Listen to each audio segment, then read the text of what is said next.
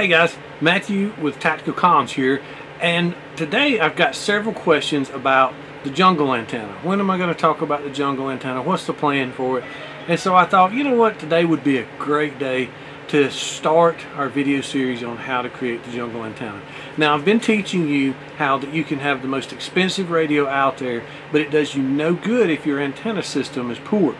So the jungle antenna allows us to take our handheld radio and turn it into more of a base station type radio. Now remember, when I think of the jungle antenna, I think of we've gone out into an area of operation, we've gone out into the field, the mountain, the trail, and we need a little bit more range than what our handheld can offer. And so we're going to extend the range of that handheld using the jungle antenna. Now where can you find more information about the jungle antenna? Your favorite internet web search can tell you a lot. And it truly is called the jungle antenna, and there's actually some uh, open source versions of the Army regulations that talk about it. Now I want you to remember a number, 936. Remember that number. 936 is the is the starting number we have to know to build the frequency or to build the antenna and cut the lengths of the wire. I'll include a description and a list of items that you can buy from Amazon to make up the jungle antenna. But let's talk about what those items are. The first thing that we're going to need is we're going to need coax. Now what I have here is I have just a roll of 25 foot of RG58 coax. Uh, you can buy these uh, in bulk. I usually buy a spool of, of coax and uh, build them myself cut to length. Or you can just buy your own. Now it doesn't have to be 20 feet. You could make it 15. You could make it whatever else. You want enough that when you raise the antenna up that you've got a little bit of length so you can move it over to a chair, a tent, uh, whatever you, wherever you've set up, but you want a little bit. I, from my experience, 25 feet seems to be a pretty good uh, limitation. It gets the antenna off the ground, gives me a little bit of, of lateral play, and uh, also reduce the loss. Now, as I said, this is RG58. Uh, it is 50 ohm coax. Now, that's important. You can't go buy co uh, cable TV coax 75 ohm. Uh, your antenna would be mismatched. Your radio needs to be 50 ohms. Your antenna needs to be as close to 50 ohms so it's efficient and it's properly matched. So 50 ohm. Can you use RG8? Sure you could. It's just going to add more weight to your kit, more weight to your antenna system. So RG58 seems to be about a good match for it.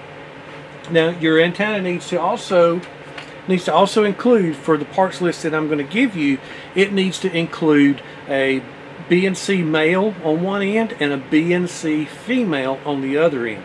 Now that's important because the components of our antenna system are going to match up with each of each of those.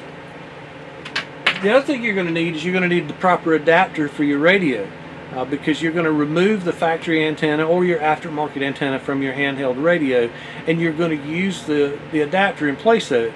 So you'll screw the adapter onto the top of the radio and then you'll connect your coax into into this adapter. And BNC are just quick quarter turn connects and they work out just fine. I'll also go ahead and tell you, don't buy just one of these. Go ahead and buy you a couple because these things will run from you in the woods. The next thing you're going to need is you're going to need what is commonly called a banana plug. Uh, the banana plug has a BNC male on it and one end of your coax will connect here, the other end will connect to your radio. You're going to need some ring terminals. Uh, I use, uh, got these off of Amazon.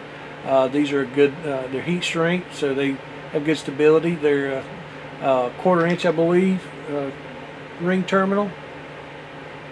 Uh, 12 uh, 12 10 wire goes in them and uh, yeah quarter inch ring terminal 12 10 wire. And basically you're going to use these to connect to your antenna uh, to the sorry to the banana plug. And then you'll connect this to the wire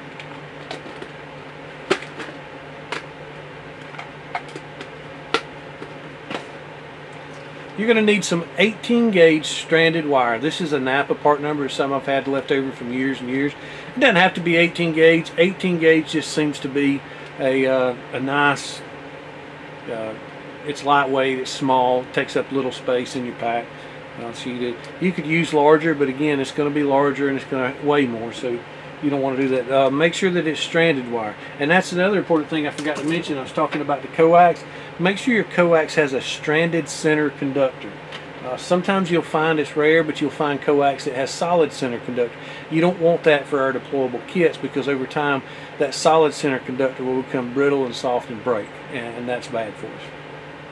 For your first time out, I recommend eBay or uh, uh, Wireman or someplace, somebody that can properly install your connectors for you because if you don't have the proper tools to install the connectors properly, you're going to have problems.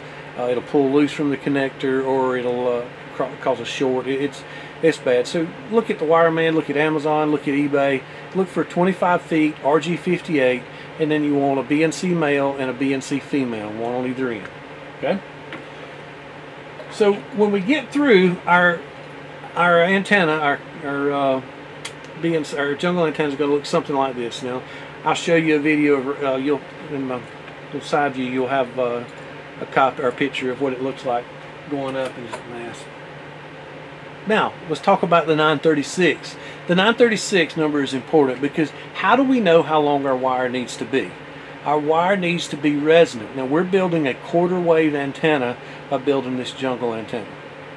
So each of our wires, which we need four of them, we need one wire going from uh, the red side of our banana, the red side of our banana plug up, and then we have three wires that come down and form into a triangle using a handful of sticks. Now, the construction of the antenna will come later in, in part two of the video. Today is just the components of what you need. So 936, remember I told you this was important. Okay, 936, this is important. We're going to start with 936 and we're going to divide this by 4. That's going to give us a number of 234. Now remember this number. Now it doesn't matter what frequency you're building your antenna for, but 936 is where we start. We divide it by 4 because we want a quarter wave antenna. Now we're going to take 234 and divide it by the frequency that we intend to operate on.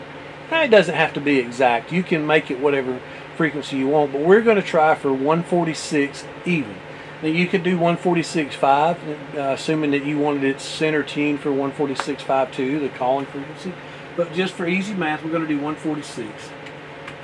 And that's going to give us 1.6027, Don't round yet. Now we want to know how long that is in inches, so we're going to multiply that times 12. And that's going to give us roughly 19 and a quarter inches. I mean, we're just a little less than that, but 19.23 inches. Now remember, our, our measurements for our antenna have to be electrically exact. And what I mean by that is, is each of our wires need to be the exact same length. And we also need to include a little bit of extra so that we can wrap around the bottom of our triangle when we build that. Now that's coming in part two, but it's important.